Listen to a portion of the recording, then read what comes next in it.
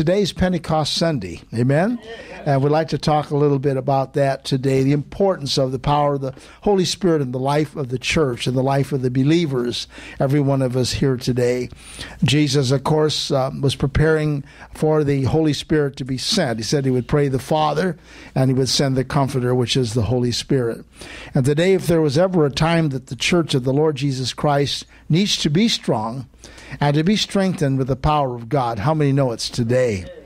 And so, Jesus, in Acts chapter 1, after his resurrection and just before his ascension, he commissioned the disciples to go forth. But he didn't just tell them to go forth, but he told them to go forth in, with power and with the demonstration of the Spirit of God. He said, I want you to tarry in Jerusalem until you be endued with power from on high. In Luke, in the book of Luke, there. And uh, we're thankful today that the Lord did instruct them, and he instructs us as well today. But I'd like to pick it up from the book of Acts, or chapter 1, after he rose from the dead. In verse 8, he said, You shall receive power. After that, the Holy Ghost has come upon you, and you shall be witnesses unto me in Jerusalem, in all Judea, in Samaria, and to the uttermost part of the earth. And when he had spoken these things, while they beheld, he was taken up, and a great cloud received him out of their sight. They were told to go back to Jerusalem. They had been commissioned, but they were to be commissioned in the power and the demonstration of the Spirit of God.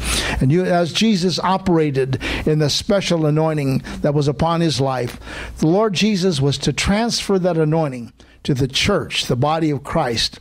And we thank God for the power of the Holy Spirit within us because it's that unction of the dunamis of God's power that gives us the ability to overcome obstacles, conditions, situations, things that come about, and also opens our hearts to receive the gifts and, and the callings of the Lord and the power of God and through demonstration.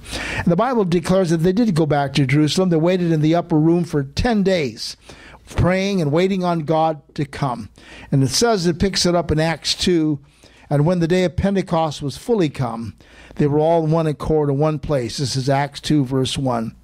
And suddenly there came a sound from heaven as a rushing mighty wind, and it filled all the house where they were sitting. And there appeared unto them cloven tongues like as of fire, and it sat upon each of them. And they were all filled with the Holy Ghost, and began to speak with other tongues as the Spirit gave utterance. And we know there that there was an ingathering during Pentecost there in Jerusalem, and the people of other nations and other surroundings, other languages, heard them speaking in their language supernaturally. They didn't know that language, but how many know God's Spirit knew the language?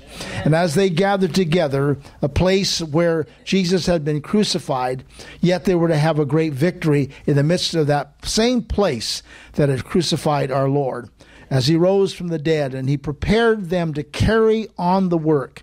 But they weren't to carry on, and you and I today are not to carry on the work in our own strength, our own power, but we're to carry on the work of the Lord Jesus Christ through the power and the demonstration of the Holy Spirit. And that's what keeps us going today. So as they were in that upper room waiting for that beautiful anointing to come. How many know he came that day into the room? And even the Bible declares, Jesus said, Where two or three are even gathered together in my name, there I am in the midst of thee. Not only in our congregation this morning, but you that are watching by way of television. I want you to know that you that love the Lord, the power of God is with you. God's Spirit can enter not only into our hearts, but into our circumstances and our conditions and our surroundings. But you know, the day that the disciples were filled with the Spirit, Spirit. Something happened to them. They were transformed by God's power. Oh, they knew God's word. They'd been eyewitnesses of the miracles of Jesus while he ministered on earth. But now they were to carry on the work that he started. And the only way they could possibly carry it on was with the same power and anointing that Jesus himself operated in. As he told them there in John 14, 12, greater works than these shall you do, because I go to my Father. He was to, he was to pray that the Comforter would come.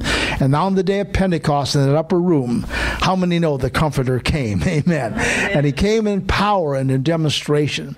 And it was incredible what God took place.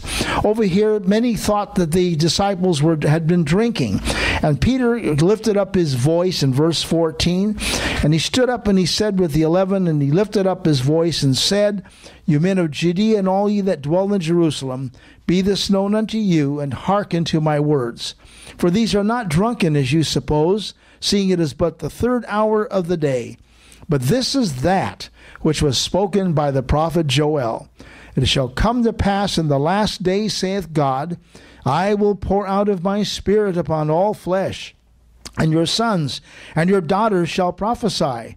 Your young men shall see visions, and your old men shall dream dreams.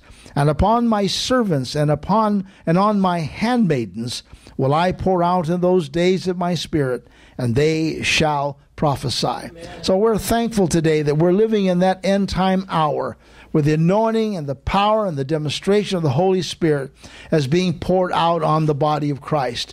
And how many know we need that same anointing and that same power in the 21st century that began in the first century church? And I'm thankful today that the Lord was so gracious that He sent the Comforter, the Holy Spirit.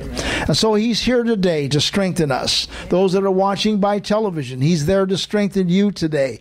And upon, uh, upon this message, I pray that that something is happening to you. So let's pray right now. Father, we just thank you this, this morning for this uh, time, a little message on the day of Pentecost.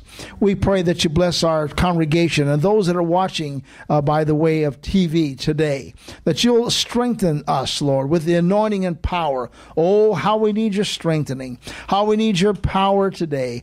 We ask, Lord, that you bless each and every one this, this very day with the power and the anointing of the Holy Spirit. In the name of Jesus, we pray. And everybody said, Amen. Amen. God bless you real good. Amen.